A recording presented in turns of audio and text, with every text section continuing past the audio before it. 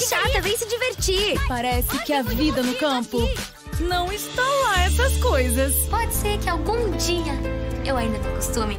Nesta sexta, nove e meia da noite, cúmplice de um resgate.